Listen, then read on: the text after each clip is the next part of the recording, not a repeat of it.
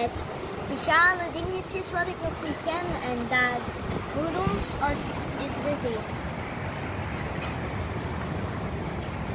Oh. Beetje zout erin doen.